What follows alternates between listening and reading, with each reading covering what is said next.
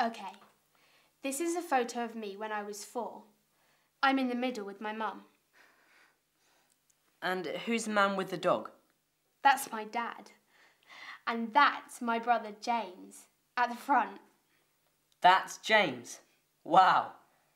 And who's the man on the left? The man in the jacket. He's my uncle from Scotland. And the people at the back?